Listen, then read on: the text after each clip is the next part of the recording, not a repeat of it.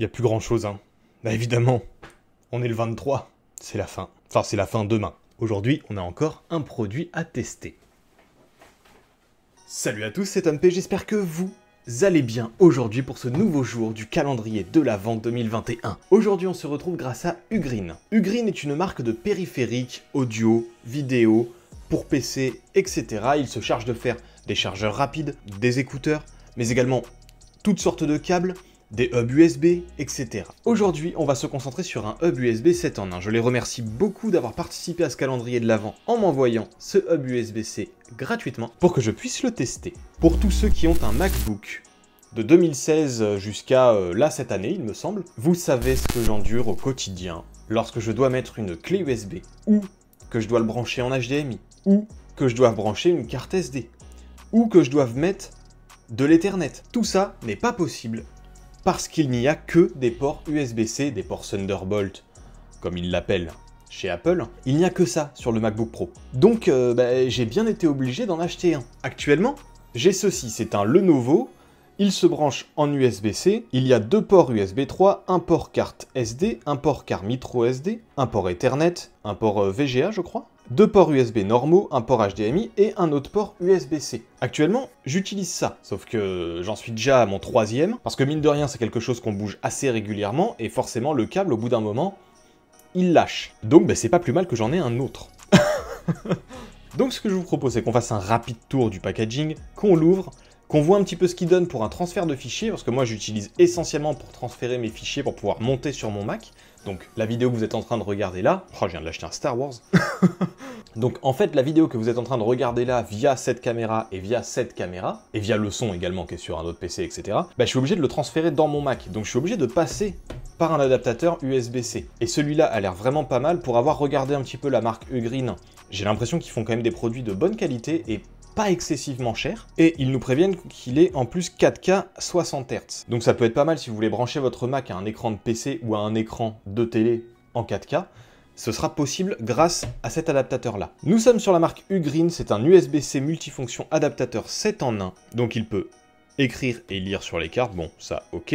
Super transfert rapide, 4K 60 Hz, on a la photo du produit, et au dos ils nous disent ce que l'on a à savoir des ports USB 3 5 gigabits par seconde, un emplacement pour carte micro SD à 104 mégabits par seconde, un emplacement pour la carte SD à 104 mégabits par seconde, un RJ45 à 1000 mégabits par seconde, un port de charge USB-C à 100 watts et un HDMI 4K 60 Hz. Hop là. C'est plutôt bien présenté en vrai, on a une petite notice qui nous explique où sont tous les ports, c'est pas mal. C'est également en français. Il nous indique que c'est compatible avec Windows, macOS et Linux, donc bah, c'est nickel. Moi, je vais pouvoir l'utiliser pour mes montages. En termes de poids, bah ça a l'air d'aller. Je le trouve vachement moins encombrant que mon Lenovo, donc déjà c'est un bon point. Il fait pas camelote, mais pourtant il est léger.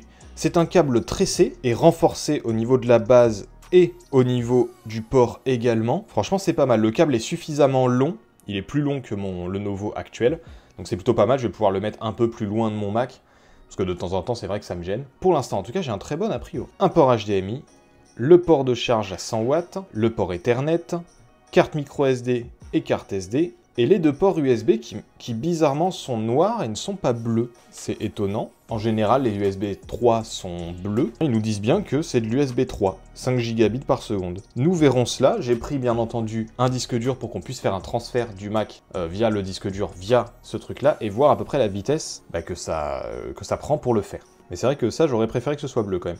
Je veux dire, rien que pour le prestige ça aurait été un peu mieux. Je vais vous mettre mon Lenovo à côté, vous allez voir la différence. Voilà le Lenovo à côté.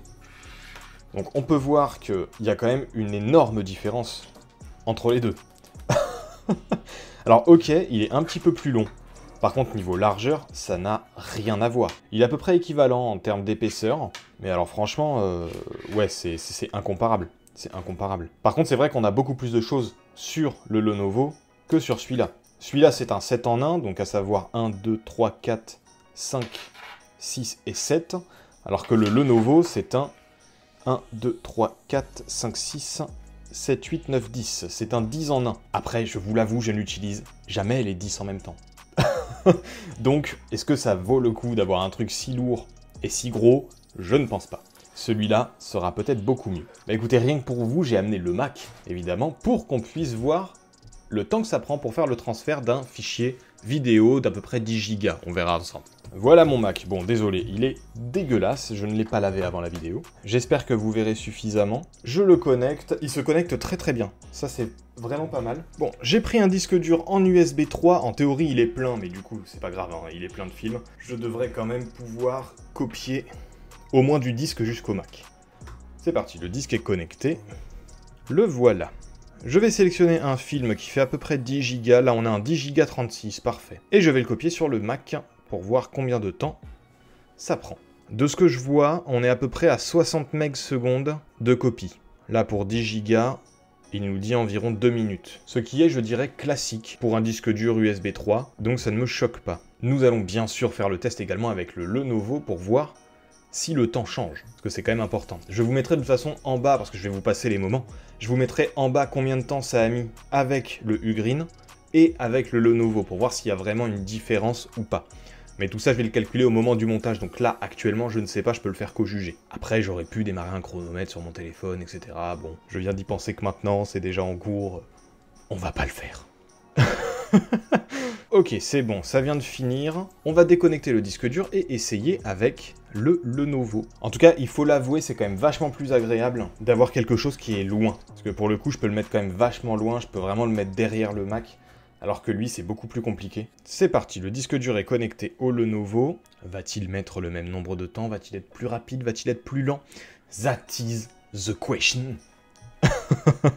On est à peu près 60 MB secondes également, c'est la même chose. Au niveau des performances, on est sur la même chose. Ah, j'avais absolument pas fait attention, mais il y a marqué derrière à quoi correspondent du coup les ports. On voit bien que là c'est de l'HDMI, là c'est un port de charge, là c'est un port Ethernet, là DSTF, USB 3, USB 3. Donc c'est pas mal. Mais en vrai, en termes de qualité, je le trouve vraiment pas mal. Et en plus, il est pas très cher. Je veux dire, en comparaison du Lenovo, il est vraiment pas très cher. Ils vendent leurs produits via Amazon, donc vous aurez bien sûr le lien Amazon que je vous mettrai en bas dans la description, mais également le lien de Ugreen pour que vous puissiez voir un petit peu ce qu'ils font et bah, la qualité qu'ils proposent tout simplement. On vient de finir avec Accident Man, en vrai ça a mis le même temps. Au jugé en tout cas ça a mis le même temps. Je vais faire quelques autres tests et je reviens tout de suite.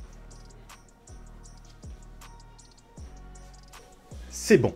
Les autres tests sont faits. Donc je l'ai testé sur ma télé, pour voir si je pouvais mettre mon Mac sur la télé directement grâce au port HDMI qui est juste là. Ça fonctionne nickel. Les deux ports ici sont bien de l'USB 3. Par contre, sur ce port-là, c'est vraiment un port de charge uniquement. Ça veut dire que j'ai un disque dur qui est en USB-C, je ne peux pas le mettre directement dessus. Ça ne sert pas du tout de port de transfert, en fait. Ça ne sert qu'à charger des éléments. L'Ethernet, je l'ai testé rapidement ça marche. J'ai pas grand chose d'autre à dire dessus, hein. c'est un port Ethernet euh, somme toute très classique. Il me permet d'avoir la fibre, euh, donc euh, aucun problème. Et les deux seuls trucs que je n'ai pas testé, ce sont les deux ports de carte, parce que je n'ai pas de carte micro SD. Et la carte SD bah, est là-dedans pour que justement vous puissiez me voir. C'est quand même un beau produit, léger, compact, avec un long câble donc qui est vraiment pratique, tressé de surcroît. Donc bah écoutez, n'hésitez pas, si vous en avez besoin. Je remercie de nouveau Ugreen de m'avoir envoyé leur hub USB 7 en 1 pour que je puisse le tester et vous le faire découvrir. Je les remercie également d'avoir participé à ce calendrier de l'Avent. Et nous, on se retrouve demain pour le dernier jour. Et c'était Tom P. A plus, bye.